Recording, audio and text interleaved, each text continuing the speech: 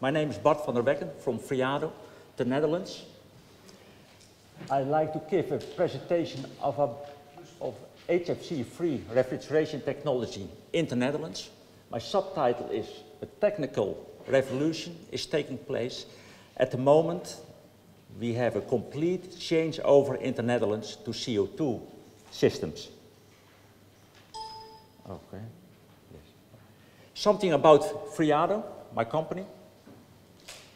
We built about 200 turnkey supermarket systems per year, new and remodeling supermarket. Our service organization is monitoring about 1,000 Dutch supermarkets a year. Seven days a week, 24 hours.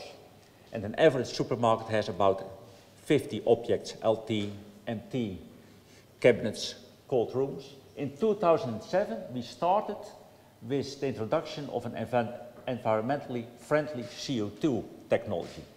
We started with the so-called cascade system. And from 2007 to 2011, we built about 80 cascade systems. And I like to tell a little bit more about our CO2 410A system. And in 2009, we start with our CO2 transcritical system. And at the end of 2013, we had about 50 units running in, in the Netherlands. And almost for every supermarket chain, we built a transcritical installation. What is our vision? We think an HFC technology should be smaller, simpler, lower in energy cost, lower initial cost. There we have still a challenge. Our CO2 booster is still more expensive than a traditional HFC system. Lower carbon footprint, that's possible, no HFC. To be installed over the world, there's also a challenge because we are mainly focused on Holland. And of course, with integrated heat recovery. Okay, all the way around.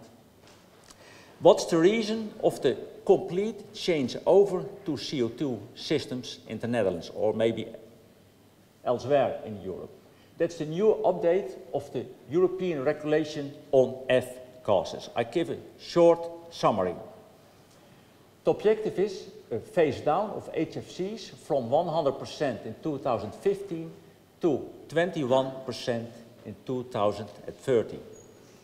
There's a refill ban of virgin refrigerant in HFC systems with a GWP, a global warming potential of more than 2,500 per 1-1-2020. That means an existing installation using 404A cannot be serviced, serviced after 2020.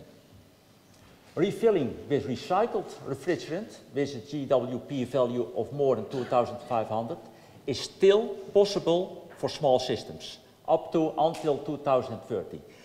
That means an installation with a maximum charge of 10 kilogram 404A can be serviced till 2030.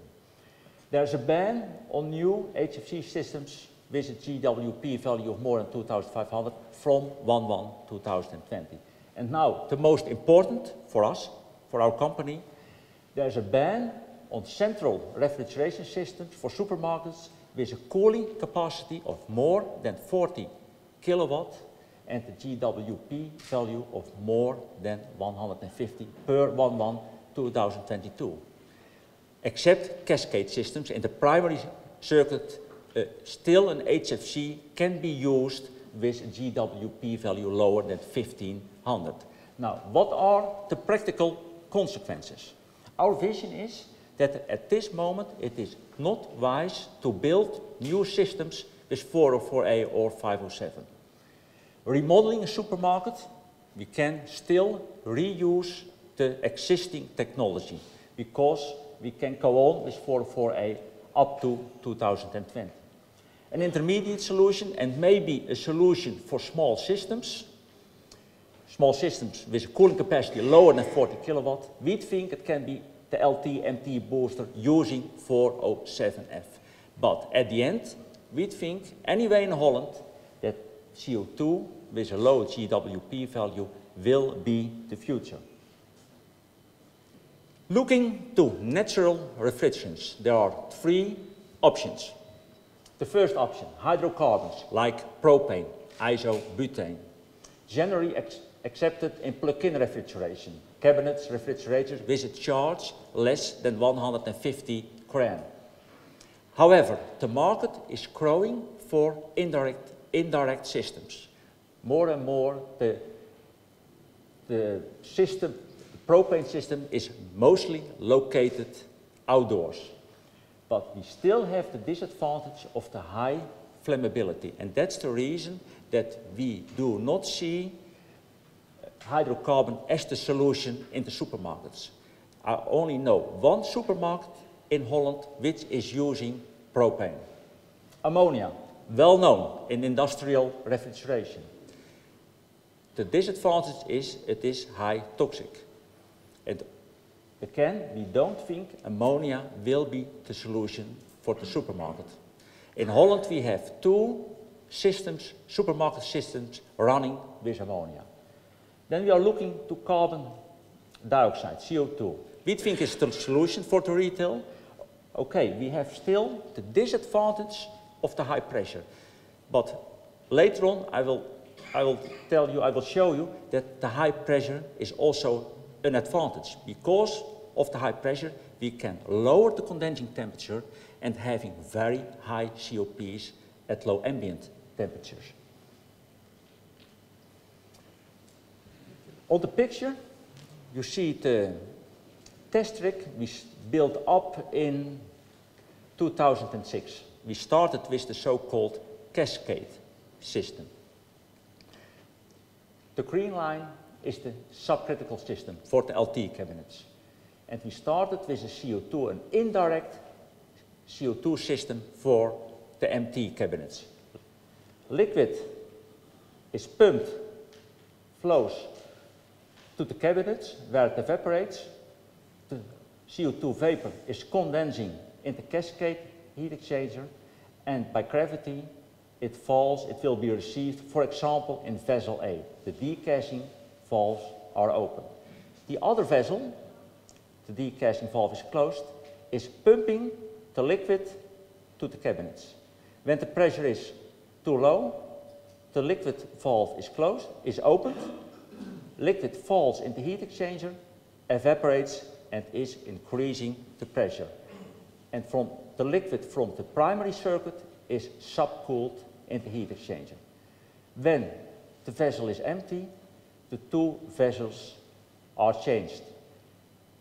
Vessel A will be the, the pumping system and vessel B will be the receiving system. No mechanical pump is needed and we call this a so-called free energy system. It looks like a very beautiful system, it works fantastic, but there's still one disadvantage. We are still using an HFC. On the other hand, we learned a lot about the work with CO2. But the cascade system can be used in combination with a heat recovery system. Two heat exchangers connected in series, the cooling capacity plus the power input can be used in the first heat exchanger for heat recovery. For example, for a floor heating system. The remaining heat is released to the ambient by a glycol system. On this picture, we see we rebuilt our test rig to a transcritical booster system. This was done in 2008 2000, 2009. Liquid flows to the cabinets where it evaporates. The suction pressure of the LT cabinets is compressed to the suction pressure of the MT system. This is the booster system. And the MT system is using the transcritical compressors with a heat recovery system, which is simply be carried out with a desuperheater. Gas cooler and the big difference with a traditional systems are the two valves over here. We call this the high pressure valve. and, and that, for terms is the ICMTS. And we call this the flash gas bypass valve. The high pressure valve is during subcritical mode regulating the subcooling in the gas cooler. When the subcooling is too large, the valve will be open, opening. When the subcooling is too small, the valve is closing. And during transcritical operation, the valve is controlling the high pressure to the optimum COP. And the flash gas bypass valve is controlling the pressure in the intermediate vessel. And the nice thing of this installation is that it's 100% HFC free. It's absolutely suitable for moderate climates and it is relatively simple compared to a cascade system. And we think for the Dutch climate the best solution because we see absolutely an energy saving up to 15% and we have a CO2 emission reduction, a TEWI reduction up to 45, 50%. Here we see the pH diagram, the suction pressure of the LT, the suction pressure of the MT. Here we see the pressure vessel, the intermediate, the subcritical compressor, the transcritical compressor, the gas cooler, and the vertical lines are the expansion here carried out by the high pressure valve, and here the expansion carried out by the flash gas bypass valve. Liquid is falling to the bottom of the, of the vessel and filling up the liquid line, and the flash gas is bypassed to the inlet of the MT compressors. And here we see how we are looking for the optimum because in the transcritical mode, pressure and temperature are independent. Look at this picture. The CO2 outlet temperature is cooled somewhere on the isotherm. For example, this is the isotherm for 35 degrees C. We have an ambient of 33, we have a delta T of 2K. So the, the end point of the gas cooler is somewhere on this isotherm. We can select a high pressure. The advantage is that we have an increased cooling capacity, but the disadvantage is that we have also an increased power consumption of the compressors. We can select a lower pressure. The advantage is that we have a decreased power consumption of the compressor, but we have also a decreased cooling capacity. When we are looking to this picture, so increasing high pressure is resulting in an increase of the cooling capacity and, in, and an increase of the power consumption. And at the end, we find an optimum COP. And the ICMTS valve, the high pressure valve of the system, at the transcritical mode is controlling on this optimum COP. Here we look to the that situation, the COP as function of the ambient temperature. Here we see the degree hours per year of a certain ambient, which is given in the purple bars. The orange line is the COP of a traditional HFC system, and we see below 10 degrees C, the COP is constant because the condensing pressure is controlled at the minimum condensing pressure. The green line is the COP of a CO2 system. And for low temperatures, we see a very high COP because CO2 systems, transcritical systems, are working very well at low condensing temperatures. The condensing temperature can drop to about 10 degrees C and we have COP somewhere between 6 and 7. That is because still at a low condensing temperature we have enough pressure drop over the cycle for a correct operation. Of course, at high ambient temperatures, the CO2 system has a lower efficiency. But in Holland, the number of hours, the number of hot days is very, very limited. So the total average means that the CO2 system is more efficient than an HFC system because we have many cold days or mild days.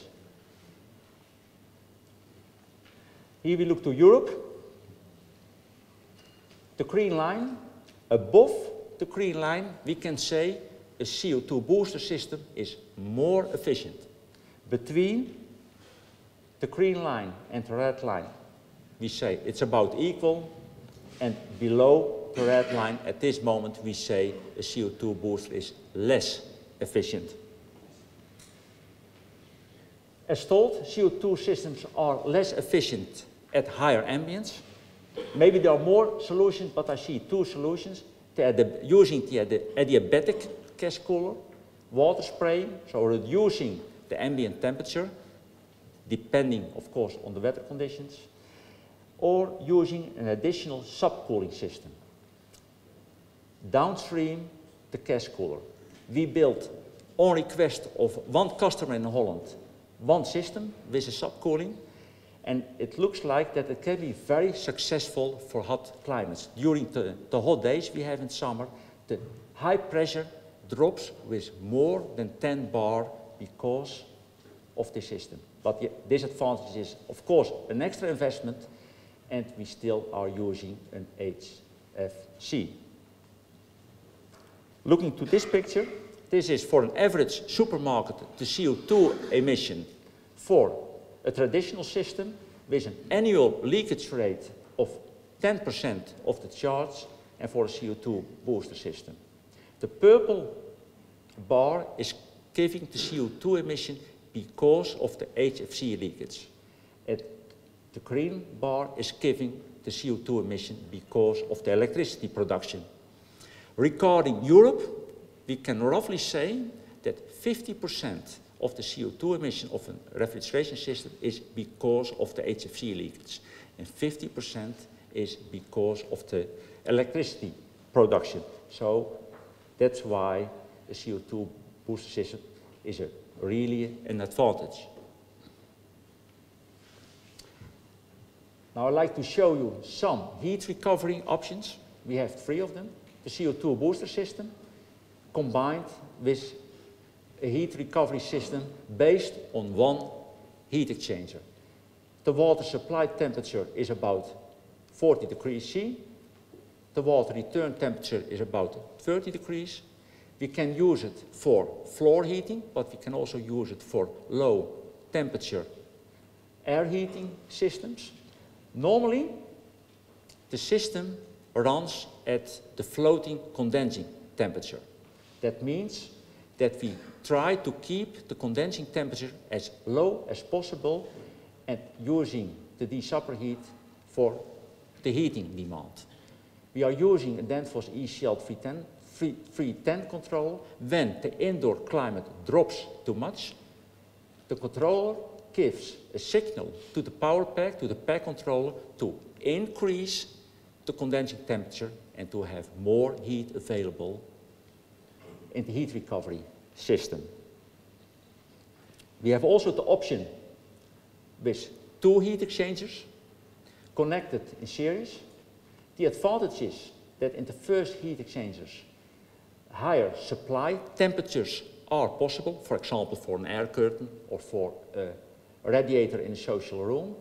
However, the amount of heat is limited, but it is available at a higher temperature. At the second heat exchanger, a larger amount of heat is available, but at a lower temperature. And of course, there can be an ideal solution for floor heating. And again, an ECL 310 is controlling the indoor climate. When the temperature drops too much, the CO2 booster system will increase the condensing temperature. The last one, we built one of, of this system. This is a heat recovery system with a heat pump. We are using again two heat exchangers connected up in series. The first heat exchanger is using the free heat and we try to, to use the free heat for the heat recovery. When, again, the indoor temperature drops too much, the ECL 310 starts the heat pump and there is much more heat available. But still, the water return temperature is first preheated by the free heat and afterwards is heated up by the heat pump. I would like to tell something about the calculation model we are using to, to see what we can do with the, the heat from the CO2 booster system and for the heat recovery system. This is the model, the model to calculate the heating demand. So the heating demand is a function of the ambient temperature and at this moment we only use the RC value, the insulation value of the building and the area of the supermarket to make a good estimate of the heating demand. So lowering the RC value, that means the heating demand will be increasing and we say that the service of the supermarket is proportional with the heating demand. So knowing the RC value of the building, knowing the space, we can make a rough estimation of the required heating demand. We do the same for the cooling capacity. The red lines is for the MT cabinets. The blue lines is for of the yeah, this is for the MT and this is for the LT cabinets. And we assume that at an ambient of 35 degrees, the MT capacity is 100%. This is because at high ambient temperature, there is a high vapor moisture content in the air and there is a high latent heat load on the evaporators. When temperature drops to about 10, an ambient of about 10 degrees, the cooling capacity is about 50% because, again, the vapor moisture content in the ambient air is, is lower, resulting in a lower, in a decreased latent heat load on the evaporator. For the LT load, we say it's during daytime 100%, during nighttime it's 80% because of the night covers and the doors are always closed. And for the empty cabinet, we say it's 40% because of the used night covers. And this is done the last picture for, for the calculation, the how to calculate the available superheat in the log pH diagram. Here we see the discharge endpoints for the different gas cooler pressures and the red lines are the isotherms for 35 degrees C and 30 degrees C.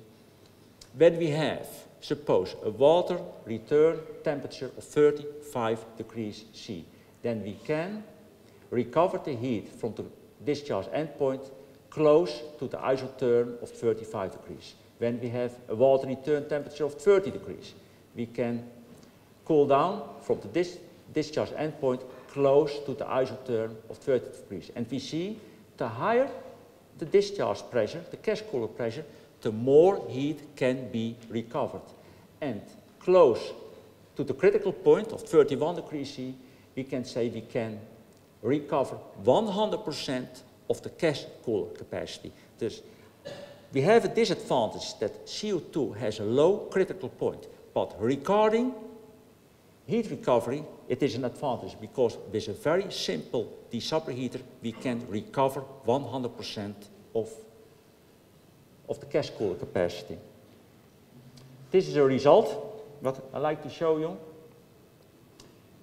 Here, the heating capacity as function of the ambient temperature, the gas cooler outlet temperature. The green line is the heating demand, which is needed. Around 13 degrees C ambient, we say there is no additional heating needed because the lighting, the people, the equipment in the supermarket is sufficient to cover the heating demand. The purple line is the gas cooler outlet temperature, which is 2K above the ambient temperature, of course, with, with a minimum.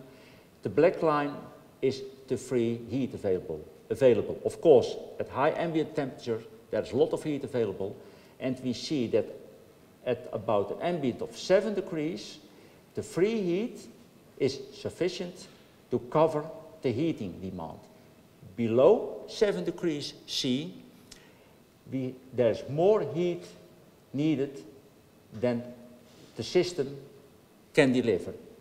At that moment, we are increasing the condensing temperature, we are increasing the gas cooler outlet temperature, and we are realizing more heat to the system. Here we see the power consumption of the system, sorry, as a, as a function of the ambient temperature. Now, of course, at high ambience, we have a high energy consumption. Here we see a minimum power consumption. Why? Because at an ambient of about 7 degrees C, we are running at low condensing temperatures and still the heat recovery heat is enough to cover the heating demand. Below 7 degrees C, we have to increase the condensing temperature resulting in a higher energy consumption of the system. we, we followed one supermarket the complete year 2013. This is the weekly measured power consumption in kilowatts per hour as a function of the week numbers in 2013. The blue bar is indicating the weekly measured energy consumption of the transcritical compressors. The red bars is the weekly measured energy consumption of the LT compressors and the purple bar is the energy weekly measured energy consumption of the, of the heat pump. And of course, we, we see in July, August, a very high energy consumption. What we see here, the red line is indicating the temperature, ambient temperature of about 7 degrees C. We see here at 7 degrees C really a minimum in energy consumption because we have a low condensing temperature and it's still enough heat to heat the supermarket. And at low ambient temperature, we have to start here a heat pump, and of course, we have an increased power consumption. We have some safety issues. This, for example, a cold, a cold room. We are always using a, a leak detector in the cold room and in the machine rooms. We have an alarm unit, so when there is a leakage, we have an alarm, but we are also closing the AKV valve. We have a non-return valve. That means when there's a leakage in the evaporator, only the CO2 available in the evaporator can leak into the room and not the complete charge of 100 or 150 kilogram can leaking into the room. We are also using discharge safety valves. We place them always outside. For example, a power failure or something is going wrong in the installation. CO2 pressures are increasing and we, are, we blow off the system outside at a safe place. Maybe a, a short picture about the PED. It's a category 4 system, so we have to be PED certified, which is a lot of work. Give an example of the system at 3D model, MT compressors, LT compressors, heat recovery heat exchanger. And this is a big system where we are using two intermediate vessels in parallel. But it shows that in principle, a CO2 booster system is a simple system. Some examples. This is our uh, CO2 booster system built in 2009. MT compressors, LT compressors, heat recovery. And the nice thing is that the complete supermarket is heated by the system. There is no additional heating. So this is for low temperature, for medium temperature, and to cover the complete heating demand. Here we see another picture of a supermarket, MT and LT, and I think what it's clear that the CO2 booster system fits very well in a supermarket environment. And this is a very, was a very big unit, a, a big booster unit in combination with a heat pump. Here we, we built it here in our shop and this is at the supermarket. At the end of 2013, we, we had about 50 unit, units running, and these are almost all the supermarket chains in Holland where we install these installations. The last picture, to, to our opinion, is that the CO2 booster is the best solution for the Dutch climate. We have an energy saving, we have 45 to 50% CO2 emission reduction, suitable for heat recovery. There is still one disadvantage, the initial costs are still higher compared to an HFC system. Thank you very much.